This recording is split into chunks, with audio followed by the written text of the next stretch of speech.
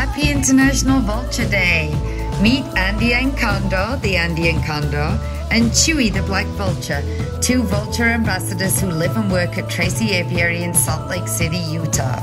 For the past 10 years, Andy's been coming out on public walks, getting up close and personal with guests to Tracy Aviary, and changing hearts and minds about vultures.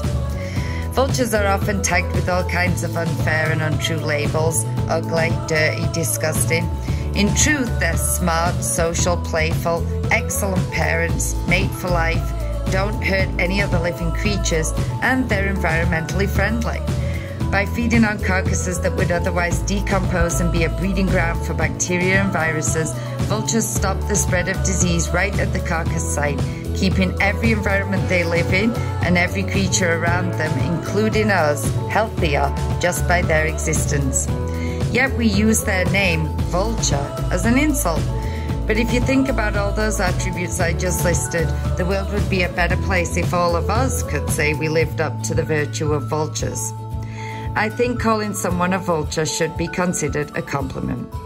Vulture populations around the world are sadly in decline, with 16 of 23 species listed as threatened, endangered, or critically endangered. Vultures are in trouble. They are the most imperiled group of birds on Earth, but we need vultures, and right now vultures need our help. As the Baba Dioum quote goes, in the end we will conserve only what we love, we will love only what we understand. So if you're watching this, thanks for taking some time to get to know and understand these incredible birds. It's the first step to caring to conserve them. And I promise you, from personal experience, to know them is to love them.